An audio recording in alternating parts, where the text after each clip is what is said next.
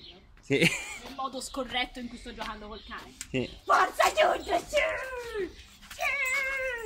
Sì! Guarda che c'è la Federica, basta!